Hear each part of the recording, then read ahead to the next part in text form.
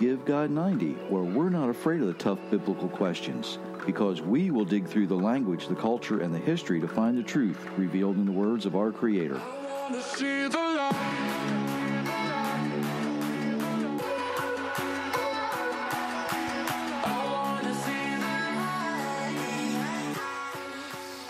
Hello, everyone. Thank you so much for letting us share part of your day. My name is Jerry Mitchell, your host for Give God 90. Sitting next to me, all dressed up because she had someplace to go, is Myra. Hi, everyone. I feel a little uh, underdressed tonight, but that's the good thing about radio. They can't um, see how I'm dressed and how you're dressed because we sure don't match tonight. No, we don't. Lots of stuff going on everywhere. Want to welcome all the new folks because apparently we have new people joining us all the time that um, sometimes they let us know they're here, sometimes they don't. Sometimes I have to wait and see where they're from. And that that's a whole other thing now that the demographics are kind of goofed up again. But anyway, welcome to everybody who is new and everybody who's been with us. We certainly do appreciate your time. The uh, lot of stuff going on, and I'm going to jump right into it. We'll get to the the advertisements later. as we as we go, um, we had a notice on Tuesday uh, about the bombings in Kampala, Uganda, and we need to keep this in prayer for a lot of reasons. Uh, the people there, absolutely, the the families that were affected, absolutely, but it goes more than this. for some of us, you know, we think about Uganda, uh, you know, and in the United States, I'm not even sure it made the news. I, I didn't. I, I I'm going to confess I do not watch network news.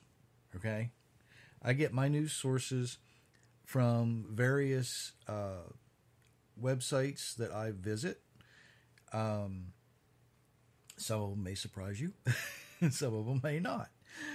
But around the world, there are, you know, places where news agencies put out their their national news, and we don't get a lot of the the down and dirty kind of stuff that happens around the world in the United States.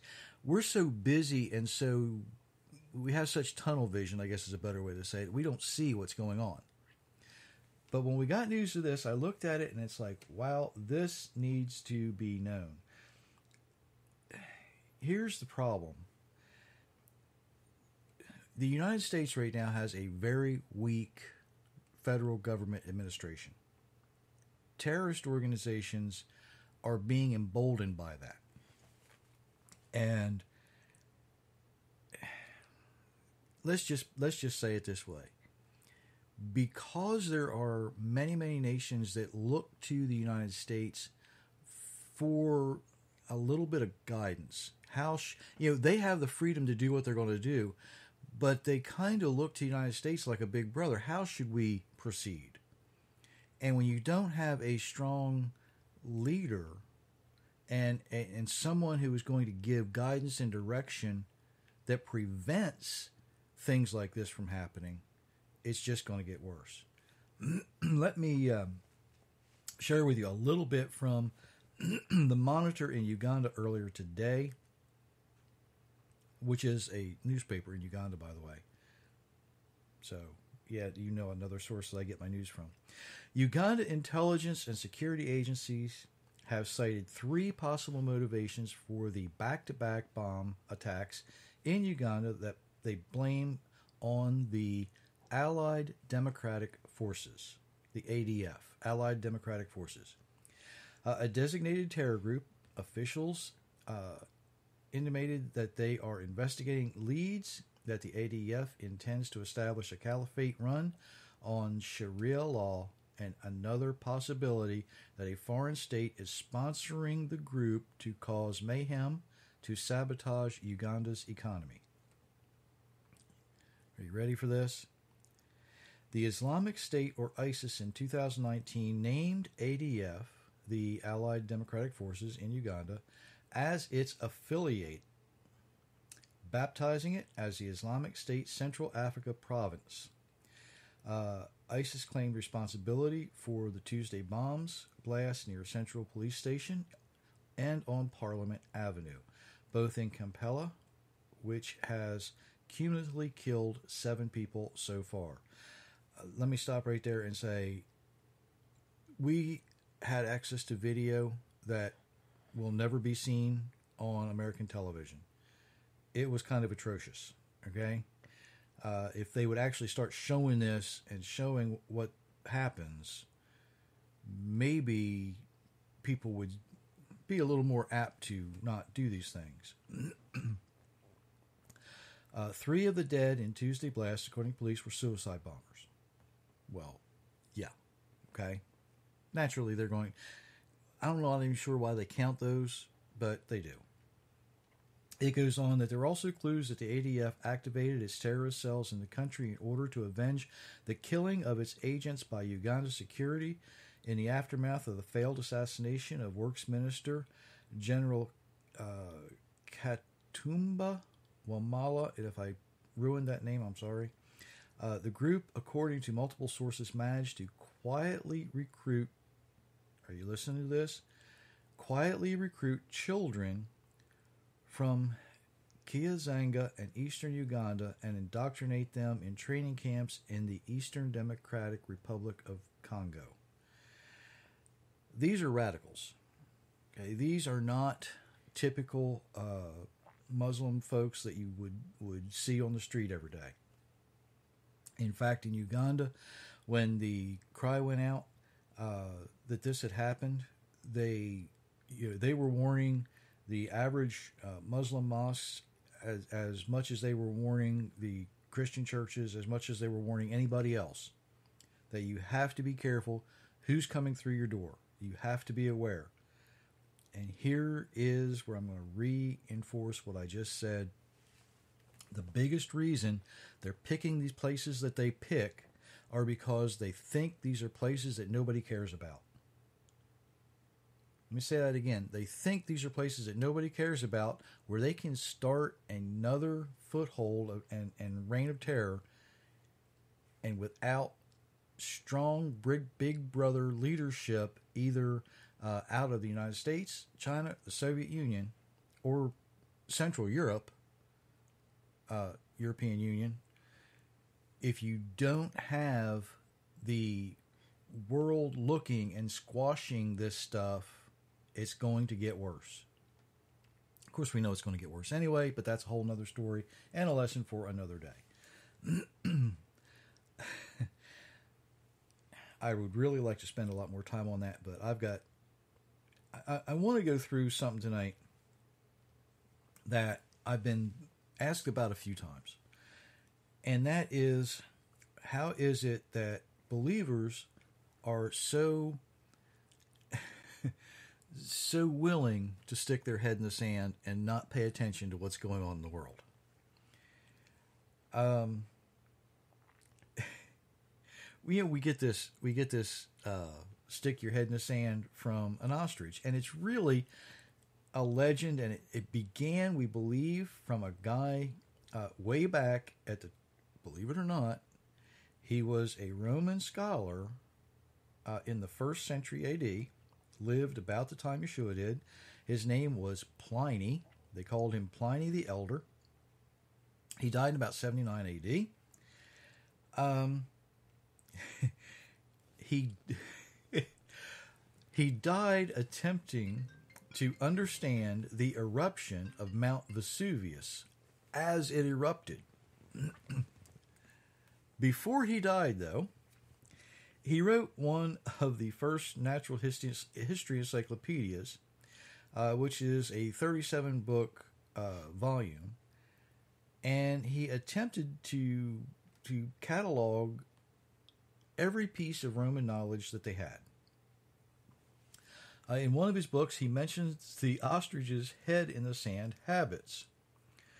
Uh, and he, he basically comes out and said they imagine when they have their head in the, in the sand and they're uh, neck in the bush, the whole of their body is concealed. Now, why would we believe that from a guy who is attempting to study a volcano as it was erupted, erupting. You know, he, to me, this kind of goes along with someone who would stick their hand in the fire while asking the question, Is that fire hot? Okay? We know people that have done that. Just saying. Just saying. At any rate, an ostrich does not stick its head in the sand to hide. It sticks its head in the sand to move some dirt around as it's making its nest. You know, ostriches are very large, very powerful birds. They can't fly. They can't jump up in a tree to make a nest. So this is how they make their nest. But it leads us, uh, knowing that, it leads us somewhere else. And we've read part of this before, but not all of this portion in its entirety. And it's important. It comes from Isaiah 29, verses 10 through 16. For the Lord has poured out on you a spirit of deep sleep. He has shut your eyes, O prophets.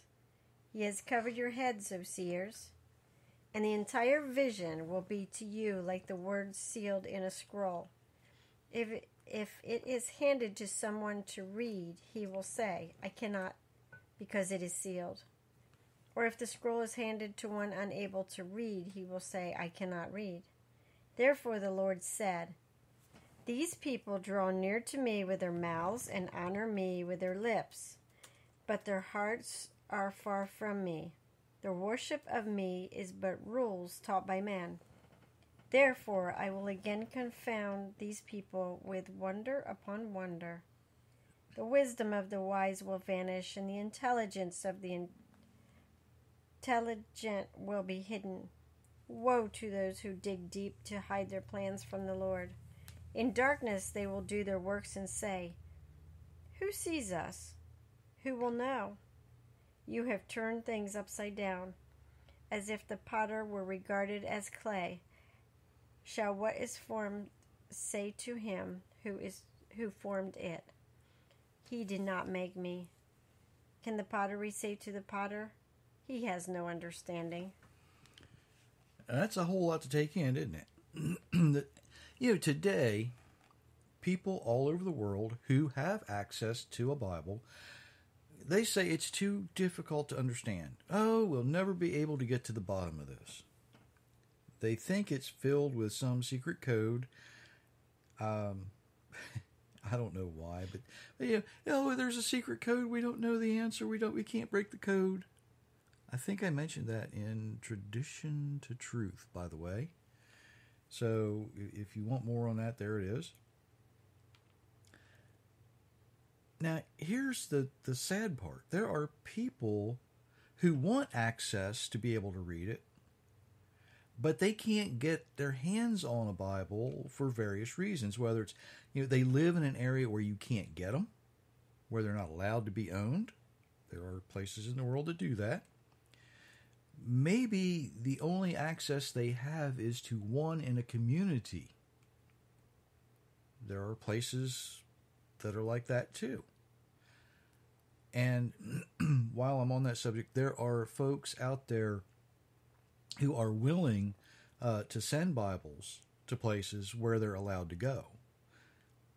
Uh, I used to know some people that would take them to places they weren't allowed to go, but that's another story anyway, you know, the, the, the folks who want access can't get it because they they have these roadblocks in front of them.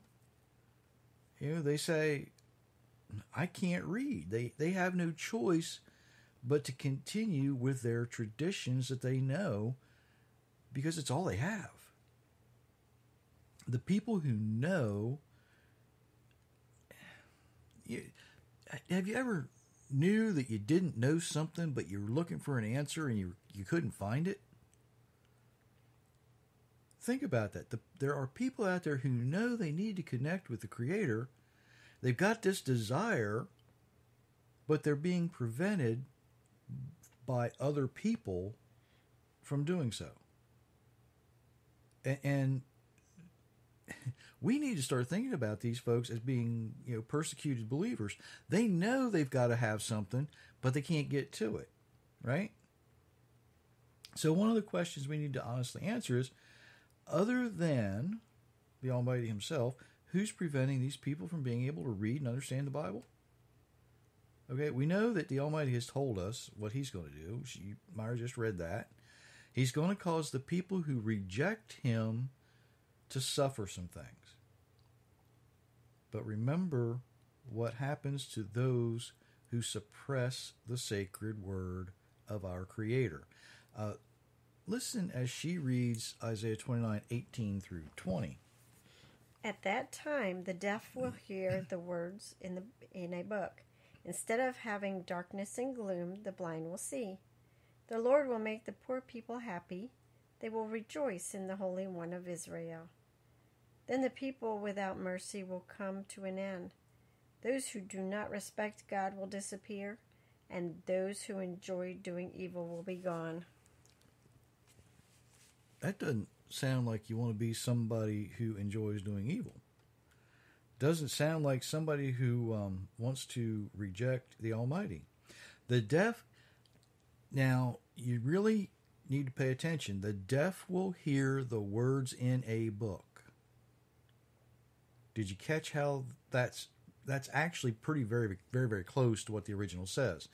The deaf will hear the words in the book. The blind will see. The poor will be content.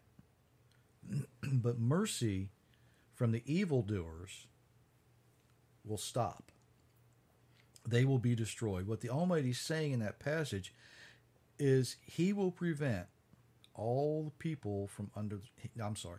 What the Almighty is saying in the passage is not that He's going to prevent everyone from being able to understand what's in the Bible or having access to a Bible, but He's going to prevent those who reject Him from having the understanding that true believers have. Did I say that right? Okay, I said that right. Good. In other words, if if you don't have the faith that it takes, you know, and you're just kind of one of these um, lukewarm folks, as they call them, right? I can't remember which which book that comes out of now. It's somewhere in the New Testament. Um, it's better to be. I'd rather have you hot or cold than lukewarm. I think it's Revelation. Anyway, if you're one of those, you're you're kind of worse off than if you're hot or cold. what he's looking for is, you know, there, there's no gray area. When the Almighty speaks, you have to stand on one side of the line or the other. You, you can't, you know, you can't stand across it. You you can't lean and push into it because it there's no give. You have to be on one side or the other. And what he's saying is he will prevent the people who reject him from having the understanding that true believers have. so that even if you have this desire to have a relationship with the Almighty, but you don't know how, you don't you know you don't have access. You're forbidden access to scripture. You're forbidden access to his word but you know you need it.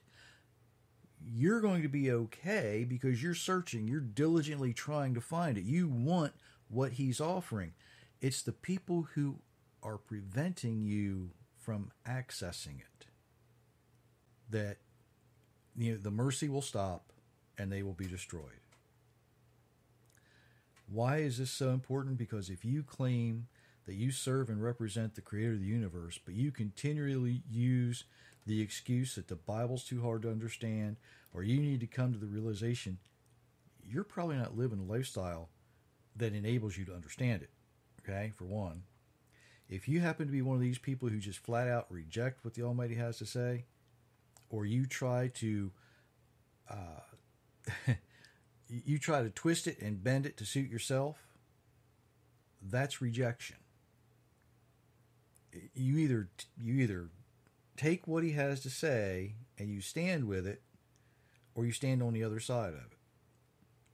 Because You you can't stretch it. It doesn't stretch.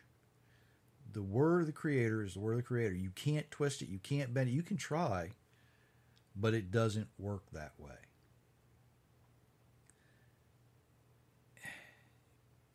If you don't have the understanding that you need to look around today and see what's going on in the world and say, you know what, that fits scripture here. We can plug this in here with the with the information we have. You know, uh, a few weeks ago we talked about uh, there is a university in Australia that basically named uh, Damascus as the least inhabitable city in the world. That's the Isaiah 17 passage, right? Damascus will cease to be inhabitable. If you can learn how to see and plug those things in, but I will say this the best way to be able to do that is not to watch typical like USA network news type shows. Because all you're going to get is the the propaganda that they want to show you now that you're not getting what's going on. Then you have the other side of that. You have the the people who want to stick their head in the sand. I'll be okay if all I do is stay hidden in my prayer closet and let the world revolve around me. Well, I think we've said when we do that, I think I hit pretty hard on the concept that you're not investing in the kingdom when you do that, right? If you're not actually out there involved with people and all you're doing is stuck, you know, you're or or maybe, and I'm I'm going to take some slack for, the, for flack for this. You know, if you're one of these people who hide behind a uh, uh, false name in social media, and, and you just kind of attack others, you see where I'm going with that, right? You know, maybe you don't have the understanding you need to be able to invest in the kingdom. Maybe you need to do some things we're going to talk about here shortly. Deuteronomy uh, 29 29 says, The secret things belong to the Creator, but those things that are revealed belong to us. And here's where it gets interesting because Moses didn't stop there. It says, The secret things belong to the Almighty but the things which are revealed belong to us and our children forever, so that we can do all the words of the law. In other words, the things he tells us are not just to make us feel good. They're they're to help us be able to follow his instructions, to live the way he designed us to live. There's some things that he keeps from us that we really don't need to know. You know, how many angels did he create? I don't know. How many divine beings did he create? I don't know. We don't need to know those things. when, you know, for Christians, the big question is when's Jesus coming back, right? I don't know. We don't need to know. Because here's the secret if you're living the way you're designed to live, you're already going to be ready for him. It's that simple, right? But see, I'm not going down that road. I got a lot more to go, and uh, I don't want to take that much time tonight. here's here's um, another one. Deuteronomy 30 verses 11 through 16. This command I give you today is not too hard for you. It is not beyond what you can do. It is not up in heaven. You do not have to ask who will go up to heaven and get it for us. Then we can obey it and keep it. It is not on the other side of the sea. You do not have to ask who will go across the sea and get it. You will tell it to us. Who will tell it to us? Then we can keep it. No, the word is very near you it is in your mouth and in your heart, so you may obey it. Look, today I offer you life and success, death and destruction. I command you today to love the Lord your God. Do what he wants you to do, keep his commands, his rules, his laws. Then you will live and grow in number, and the Lord your God will bless you in the land you are going to take as your own. Okay, now, some of the long-time listeners may remember when I said that an excuse is nothing more than a reason for failure. And it's true. You know, failure to hear his voice and do his commands will result in the final death. It, it's that simple. It, you know, if you say, but I didn't know, your reason for failure is you didn't know either because you rejected it or you didn't have access. Now, if you didn't have access, guess who's going to know that? Yeah, the one who's looking at you saying, "Why, uh, why didn't you do these things?" Because he already knows. He already knows. The failure to hear his voice, do his commands, does result in death. It's that simple. Good news is we're offered a way back, but it comes with certain conditions. Okay, know, a shepherd. Here's here's a cool thing about most people don't realize this about shepherds. Sheep are not just um, mutton and wool. Okay, that's a good part of them, but they're more than mutton and wool. And a shepherd does not keep a sheep that will continually create problems. I know this firsthand. All right. Um, a long time ago, before Myra and I were married, I had a few sheep. And I had a ram that was really, really good. The breed was Suffolk. Um, and this ram was nice, big, just well put together. From a breeding standpoint, he was almost perfect. Um, when, when it didn't matter what you that he was bred to, mine or anybody else's, every you had at least twins, most of the time triplets, and sometimes they had quadruplets. Now, as in production uh, agriculture, he was top dog, okay? But he developed some bad habits. He would actually run over anybody that walked into a sheep pen. Okay? He if he saw you with a feed bucket or anything else, if he saw you walk in there just empty-handed, he was coming at you. He was he got mean. You know, he would kick you, he would bite you, you know, when it was time to shear him, he would fight you every time. And while that is, you know, he's his bloodline and all that, it was good. Uh, his genetics were great for building a stock, for producing lambs. But his actions were not conducive in a flock of sheep. It's not the kind of uh, manners you want from a sheep. Um, he was sold to somebody that thought they could handle him, but they couldn't. He was rebellious and he rejected instruction. And he was no longer welcome among the flock. Now, does that sound familiar to anybody? Yeah, he was a sheep, but he was no longer welcome in the flock.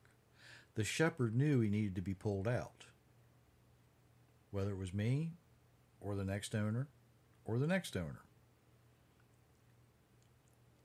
Does it remind you of something that we read in Matthew chapter 7? Not everyone who cries out to me, Lord, will enter the kingdom of heaven, but only he who does the will of my Father in heaven.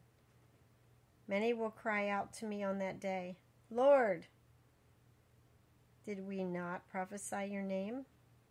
And in your name drive out demons and perform many miracles? Then I will tell them plainly, I never knew you. Depart from me, you workers of lawlessness.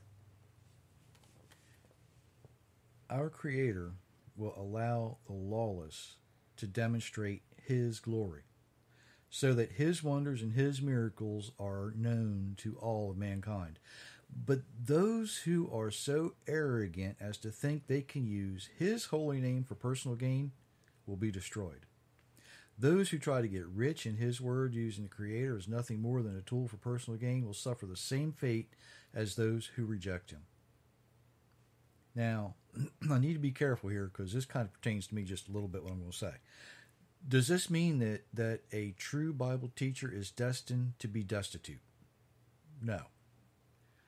A worker's worth his wages. In Leviticus 19:13 says you must not defraud your neighbor or rob him. You must not withhold uh, until morning the wages due a hired hand.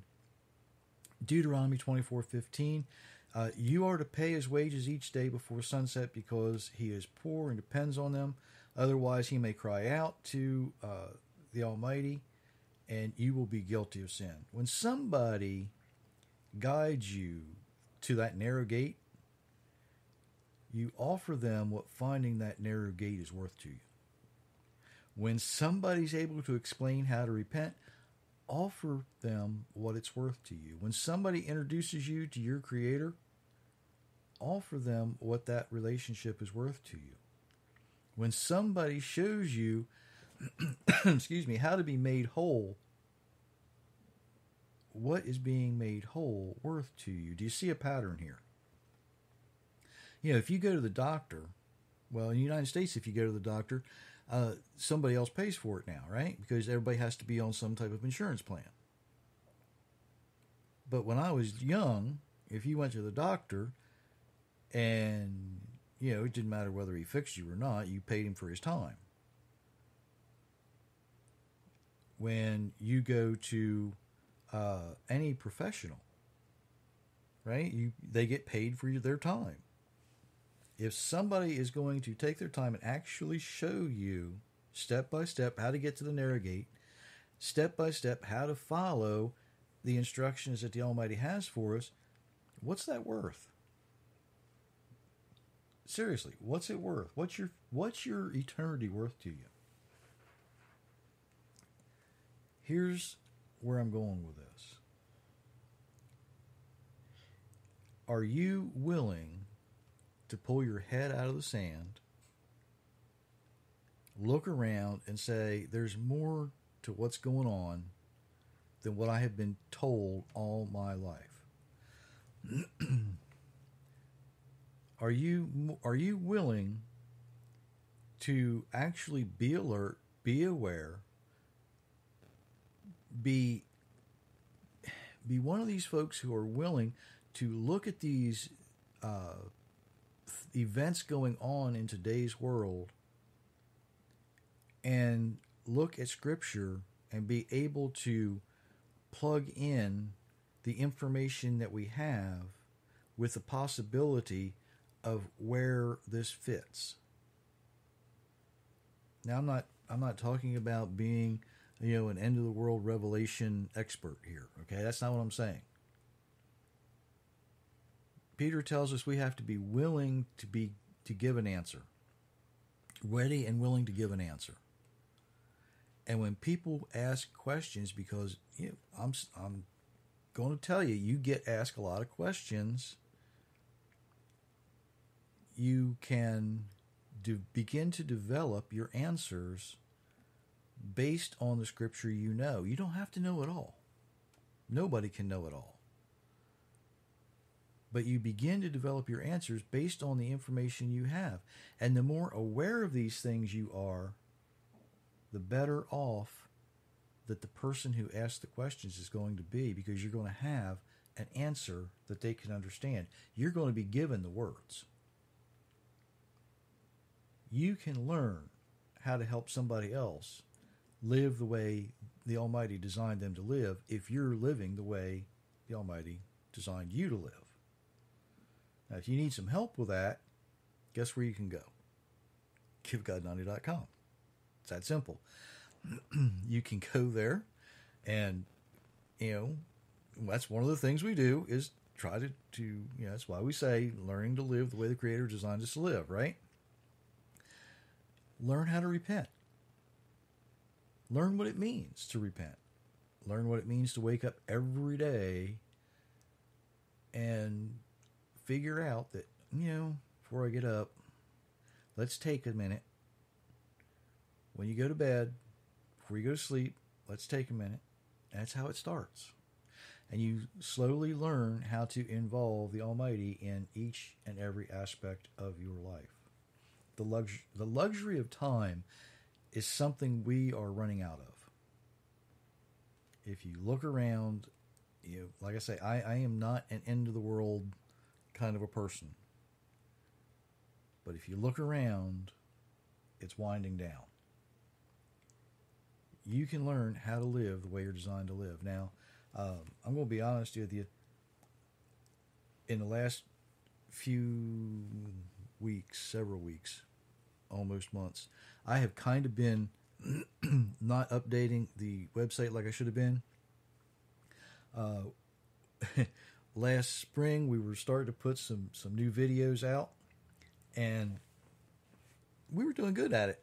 Right, we got a couple out that really really good. I think uh, they're actually on there, and then that got interrupted because um, I started to do something I swore I wasn't going to do and I started. I um, write, written had written another book, um, Inheriting Lies, which is almost complete. It is actually in the editing phase now, and hopefully slowly editing. Yeah, it is.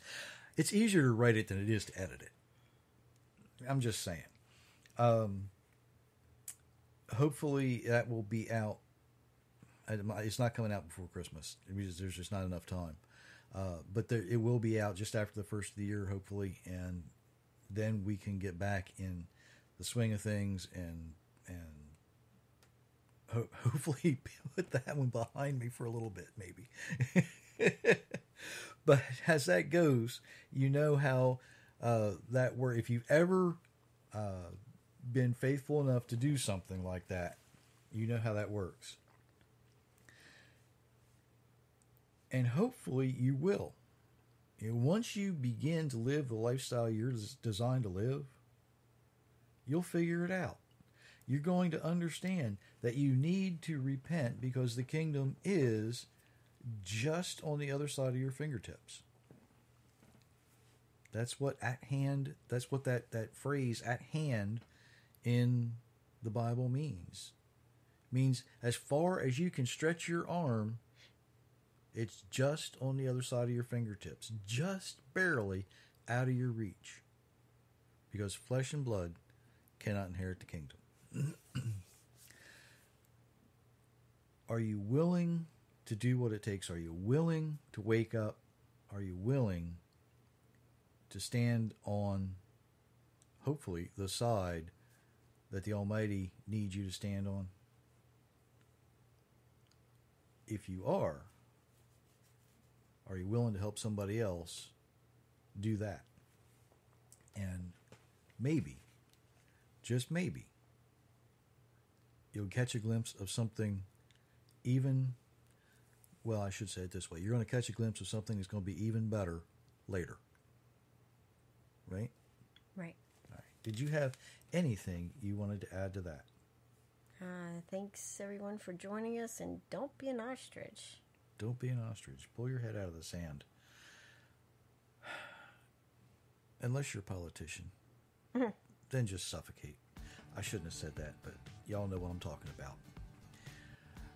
Until Monday, many, many blessings, everyone.